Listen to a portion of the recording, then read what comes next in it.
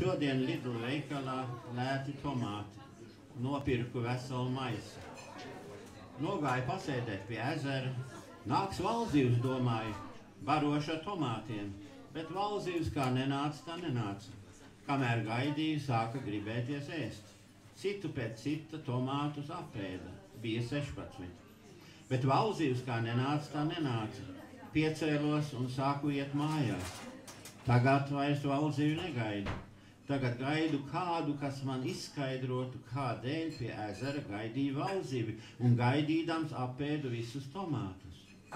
Vakars ir zilgans, bet tieši virs horizonta virves liels sarkans tomāts, kuru tūlīt aprīs nakts melnā valzīvs.